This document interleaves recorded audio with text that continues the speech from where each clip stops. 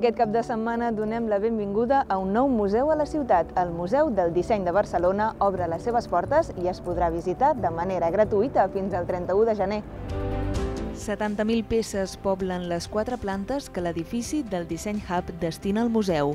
En ell s'hi uneixen les col·leccions històriques i contemporànies d'arts decoratives, ceràmica, disseny industrial, tèxtil, indumentària i arts gràfiques.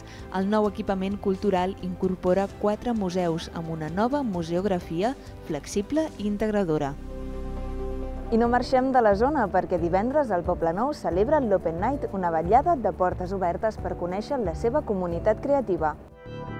Les galeries d'art, showrooms, estudis artístics, agències de publicitat, productores audiovisuals i botigues instal·lades al barri obriran les seves portes de 8 del vespre a 12 de la nit per oferir activitats i descomptes especials. També hi estan implicats els hotels, restaurants i cocteleries. A la trobada no hi faltarà la gastronomia i una ruta degustació de cervesa artesana.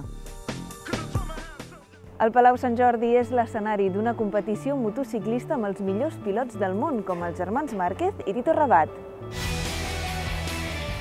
Fins a 20 pilots del Mundial de Motociclisme competiran al Superprestigio Dirt Track en una jornada on s'aniran succeint les curses fins a triar el més ràpid a la gran final.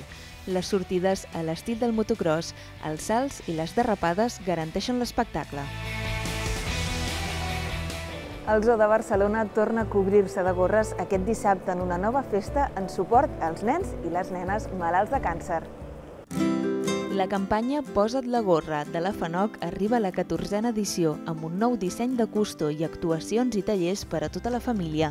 Els diners recollits es destinaran a millorar la qualitat de vida dels infants malalts de càncer, millorant les seves condicions a l'hospital, oferint suport psicosocial i mantenint la Casa dels Xuclis, la llar de les famílies que han de marxar de casa per rebre tractament.